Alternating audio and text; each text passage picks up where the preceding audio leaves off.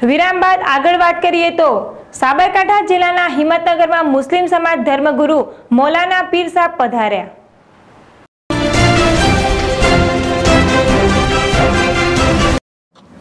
સાબરકાંઠા જિલ્લાના હિંમતનગરમાં મુસ્લિમ સમાજના ધર્મગુરુ મૌલાના મોહમ્મદ મદની સાહેબ અને તેમના સાહેબ જાજા હઝરત હમઝા અશરફ સાહેબનું આગમન થયું. આ સમયે તેમના અનુયાયીઓ ખૂબ જ મોટી સંખ્યામાં ઉપસ્થિત રહી અને ભાવભર્યું અને ઉષ્માભર્યું સ્વાગત કર્યું હતું. આ પીર સાહેબ હિંમતનગરમાં તારીખ ત્રેવીસથી ત્રીસ સુધી દરરોજ સવારે અગિયારથી એક સુધી દેરોલ ઉલુમ હસીનિયા હોલમાં પોતાનું વ્યાખ્યાન આપશે.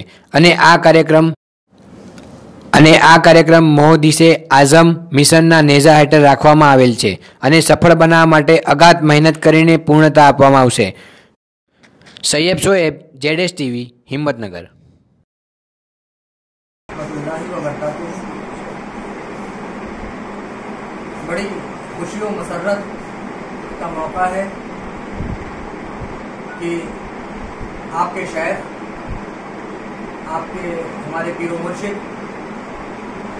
ہمارے محسن، حضور شیخ الاسلام والمسلمین، ایک عرصہ دراز کے بعد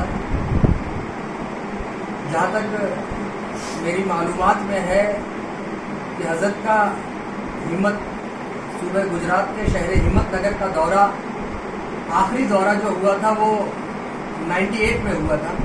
تو تقریباً اکیس سال ایک لمبے عرصے کے بعد حضور شیخ الاسلام والمسلمین شہر ہمت نگر تشریف لائے ہیں۔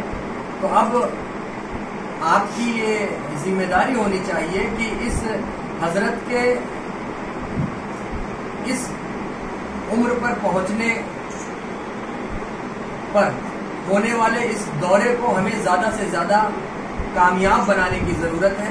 اللہ وبرکاتہ۔ یہ شہر ہمت نگر والوں کی بڑی خوش نصیبی ہے۔ کہ حضور سیخ الاسلام والمسلمین کا پہلا گجرات دورہ ہمت نگر کو مولا۔ ہمت نگر والے یہ بڑے خوش نصیب ہے کہ حضرت اکیس سال کے بعد اس زمین پہ آئے۔ یہ ہماری بڑی خوش نصیبی ہے۔ حضرت انشاءاللہ جل تیبیس سے تیس تاریخ تک ہمت نگر میں قیام کریں گے۔ حضرت کا پروگرام گیارہ سے ایک بجے تک انشاءاللہ عزوجل دارالعلوم حسنیہ ہال میں ہوگا۔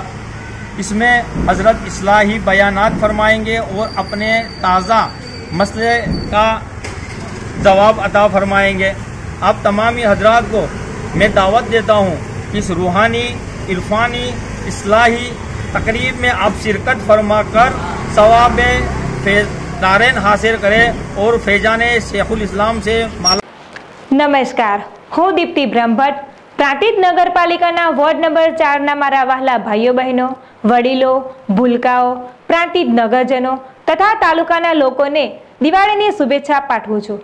આપનું આવનાર નવું વર્ષ શુભદાયી, લાભદાયી નીવડે તે પ્રભુને મારી પ્રાર્થના. તેમજ જેડેસટીના સર્વ દર્શકોને દિવાળીની શુભેચ્છા પાઠવું છું.